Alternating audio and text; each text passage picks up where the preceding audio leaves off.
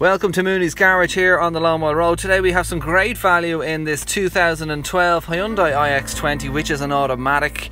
It is the uh, classic model and it comes with a decent boot space, plenty of storage space underneath and your space saver spare wheel.